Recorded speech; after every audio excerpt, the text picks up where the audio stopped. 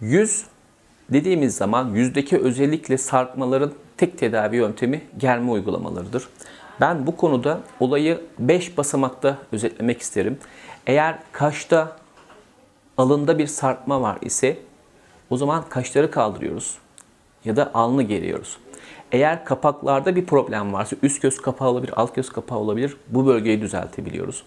Eğer orta yüzde bir sarkma var ise bunu direktman e, endoskopik midface dediğimiz endoskopik orta yüz germe işlemiyle gerçekleştirebiliyoruz.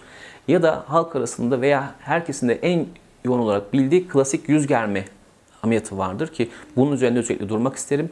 Bir de boyun germe uygulaması vardır. Şimdi özellikle yüz germe deyince herkesin en çok bildiği şey direkt olarak yüzün şu şekilde çekilerek hem gıdının hem boynun hem orta yüzün hem de alt yüzün gerilmesi uygulaması. Bu uygulamada biz direkt olarak kulağın önünden başlayıp arkaya doğru gidecek bir şekilde bir izle gerçekleştirebiliyoruz.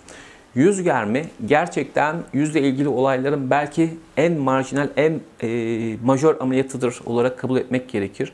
Yüz germe ile alt yüzdeki özellikle e, çenenin yanlarındaki sarkmış olan dokuları germek, fazlalık deri var ise, sarkma var ise bunları düzeltmek ki bu işlemi yaptığımız zaman kişinin orta yüzüne de mutlaka kaldırmış oluyor. Aynı zamanda gıdı ve boyun bölgesini de gelmiş oluyoruz.